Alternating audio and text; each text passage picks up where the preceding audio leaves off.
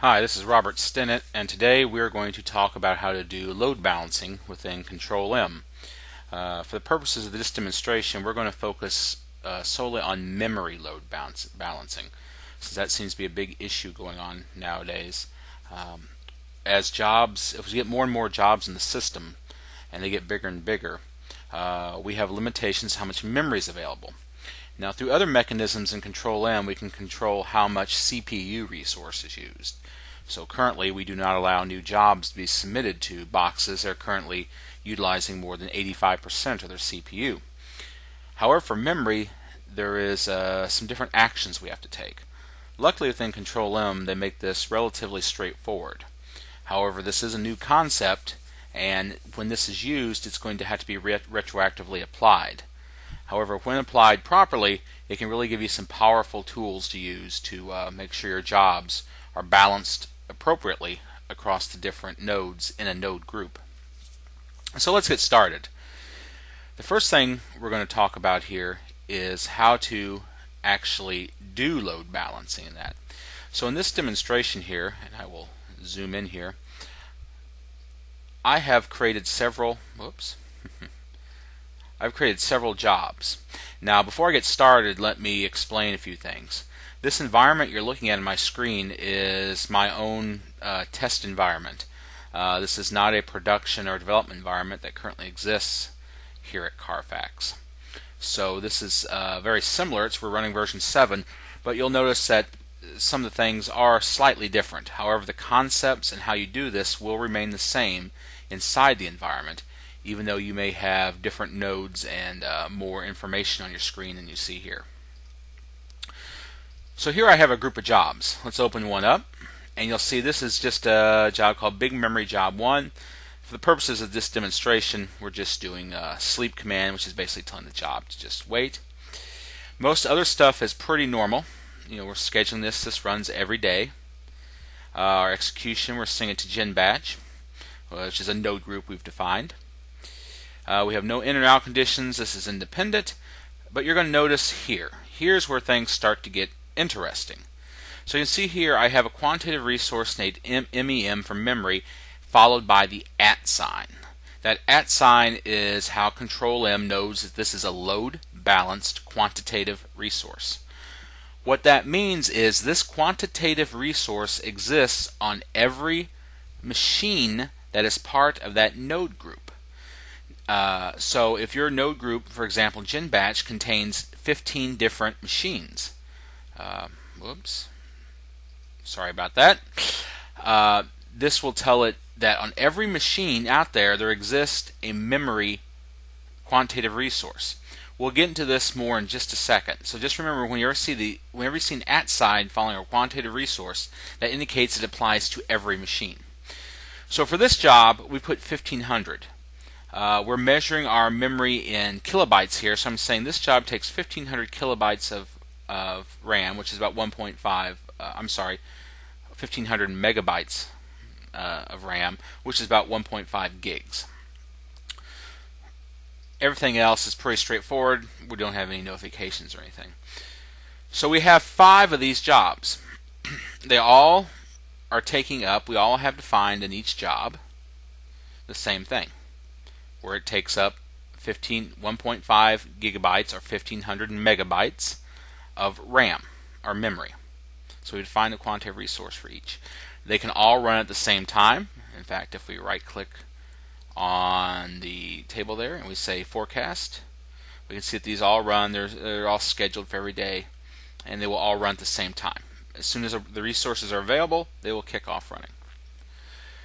Let's switch over to Enterprise Manager now and go to our quantitative resources. So we're going to go to Tools menu, Quantitative Resources.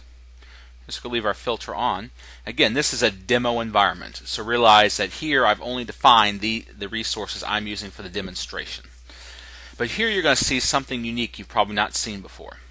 That you're going to see MEM, remember our quantitative resource from before, the at sign, this is a load balanced quantitative resource, and then the box names. Not the node group name, but the actual boxes that make up the node group. So here we have two boxes in our GenBatch group. CTM7 and CTM7-box 2. And on each of these boxes, we define a maximum of this resource of 4,000. In our case, this means 4,000 megabytes, which is 4 gigabytes of memory, which is what each of these boxes have. Now, if we wanted to get really technical about it, down to precision, it'd be 4096 because that's actually uh, how many megabytes each box has. But you know, we don't need to be that precise here.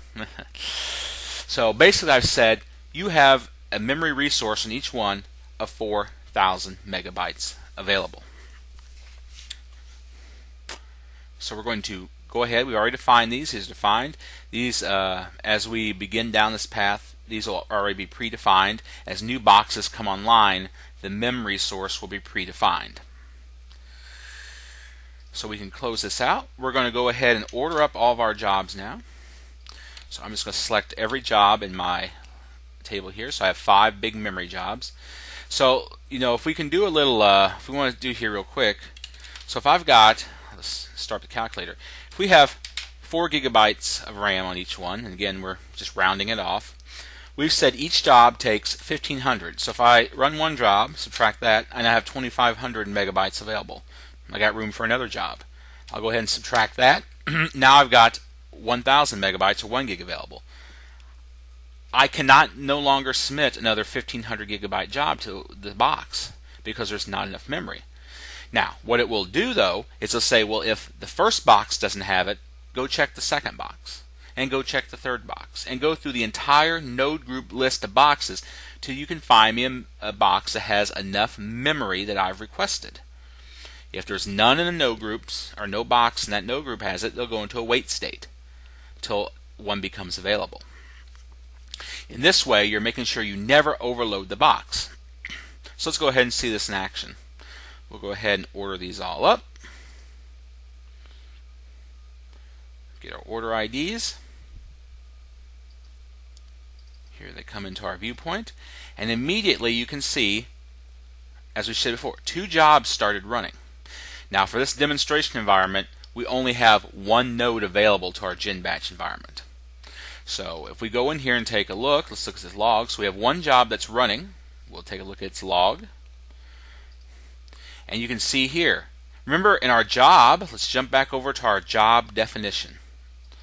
So in Big Memory Job 1, we only put MEM at. We did not put the box name.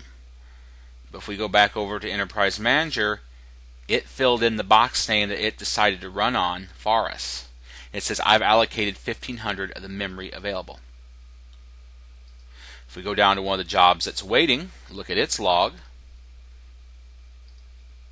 wait resource.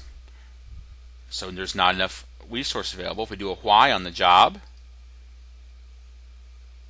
we'll see it needs mem at. Look, it's not putting a box name. Whatever box becomes available in the node group, it will use. 1500, there's none reserved. So it means there's none available right now. Now these jobs will run for about two minutes because we have to sleep in there, and then you'll see that the next, the next, the next line will uh, kick off. So some best practices here. In order for this to work effectively and correctly, it is important that as jobs go in, they have a estimate of how much memory they're going to use. A lot of times for your Java jobs, when you're using JVMs and stuff, you know, you specify the JVM size, such as 1.5 gigabytes. That can be put in, again, for this. However, if you don't know or it's unknown and the developers may not know the information, we need to come up with a suggested default. Uh, usually I suggest 500 megabytes as default, uh, unless the developer perhaps would tell you otherwise. Now, I will, we will say that, of course, again, for this to work effectively, jobs will have to be retrofitted. Uh, this is something that we'll have to work together to do. However, this is a great practice going forward. If you'll notice here, look, we got two, our two original jobs have finished. If we look at the log, and two more, oops, sorry, have kicked off. We still got one waiting. Because remember, we can only run two maximum time. We only have one box available to us in this node group. If we go look at the log of one of the completed jobs, so we can say the resource was allocated. We saw that before. The job ended, and the quantitative resources were released, sent back to the pool. In fact, we can even go to our tools quantitative resource menu here and we can see that right now we have two jobs using up the mem now we have this box 2 but for our demonstration environment we don't really have a box 2 available to us. But it is using that and there's only a thousand available because we're using 3 gigabytes or 3000 megabytes of the available memory which only leaves us with a thousand available. And since this job requires 1500 megabytes it can't run right now. I hope this demonstration has given you an idea of how we can better effectively use load balance resources. In addition, uh, again, Control M already monitors CPU for you. Um, that's something that uh, we can set uh, through workload management policies and other things, how much CPU maximum is taken. Memory and other available resources can be do, done through the quantitative, you know, load balance quantitative resources. Of course, you can make up more um, as you wish. You can even create some, maybe you want to create disk space. So you can have a disk at.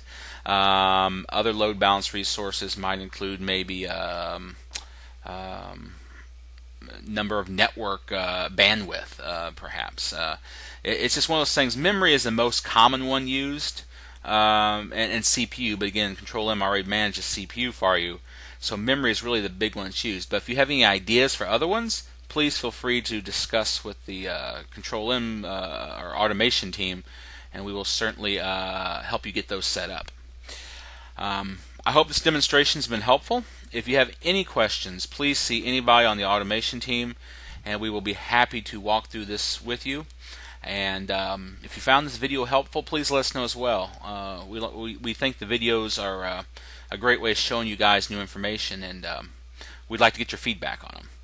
Thanks a lot. I'm Robert Stinnett. Uh, hope you guys in Missouri and Virginia are having a great day. Talk at you later.